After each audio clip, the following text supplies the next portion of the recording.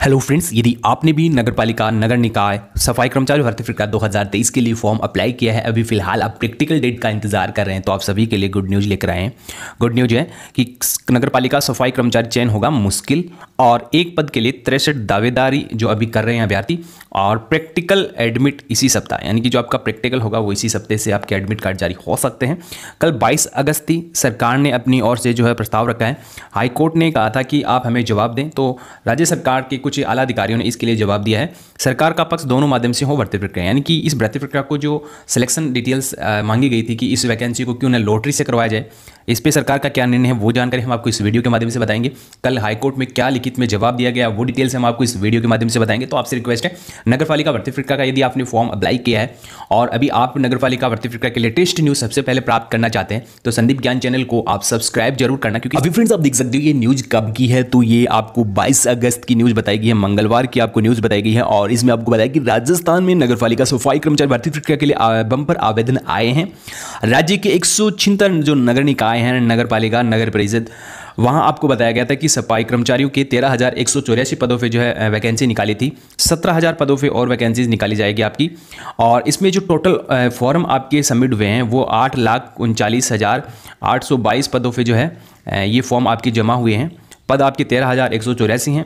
और इसमें फिर आपको बताया कि यानी एक पद के लिए तिरसठ अभ्यर्थी दावेदारी होंगे।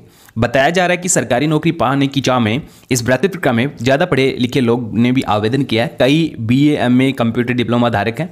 दरअसल, अनुभव संबंधित पात्रता नियमों में ढील देने के चलते आवेदनों की संख्या में बम्पर इजाफा हुआ है। अभी आपको पता होना चाहिए कि इसमें आवेदन क्यों बढ़े हैं, वो भी आपको यहाँ बताया गया कुछ दिनों पहले राजस्थान सरकार की स्वायत्त शासन विभाग द्वारा अनुभव प्रमाण पत्र बनाने के लिए नियमों में ढील दी गई। घर के मालिक द्वारा सफ़ाई कर्मी को जारी अनुभव प्रमाण पत्र भी मान्य किया गया। आवेदनों की भ्रमाक के चलते साफ़ है कि मुकाबला कड़ा होगा, चयन आसान नहीं होगा।